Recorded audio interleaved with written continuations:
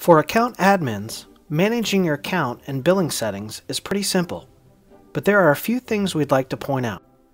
For starters, DivvyHQ has two types of user seats, full users and reviewers.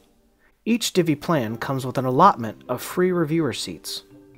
Additional reviewer seats can be purchased in buckets of five.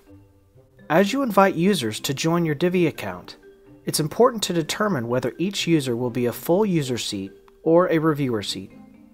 You can also upgrade and downgrade users as needed.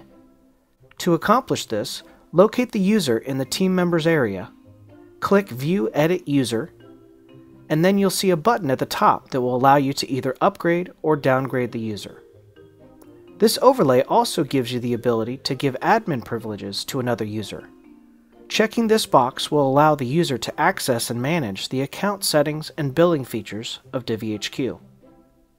With your user seats configured, you can proceed with account activation. You have the option to upgrade or downgrade your plan level, specify the term of your contract, and choose the number of full users and reviewers that you need. All of your changes will be reflected in the pricing table on the right.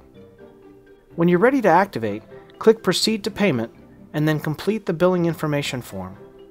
Clicking Save completes the activation process. For existing customers who want to make changes to your account, like upgrading your plan level or adding users, this process is mostly the same. If we already have a credit card on file, your account changes will automatically be applied and the transaction will be prorated based on your previous subscription.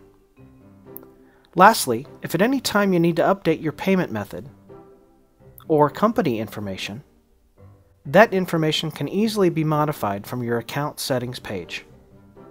Thank you so much for supporting DivvyHQ, and feel free to let us support you if you run into any trouble managing your account settings.